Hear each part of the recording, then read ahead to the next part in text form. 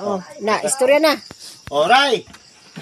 Kalang imong giingon nga dili ko nimo patagaan sa lobe, Mm.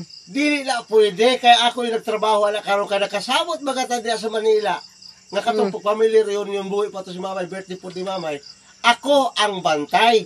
Mm. Karon nga ano mamuingon man ka nga dili na po ko bantay. Kay mo kong papawon. Pwede ko muhawak kay di man na ako. Pero tandae nga kaning mga lubi karon gikuprasan ako yung nagtanong ni ana. Kay mo nga ka ato ni istoryahan. Pero miyo ka nga dili na ko imo pakuprason. I-hold ko na tanang kupras. Kaya ako duhaton ta ka dili bahala pa ning manunok. Kaya ako masuta gyud ang imo ang kaba- kabangis. Kay mo makay imong gusto, nilain tao makari imong pagker. O nilain tao tampok ko imong pa. Pagbalik nimo nga rin, papayron ta ka. Ipangusulta ni ako daan bago ka mo abot. Ready na ako. O sige na, tandain na akong ingon.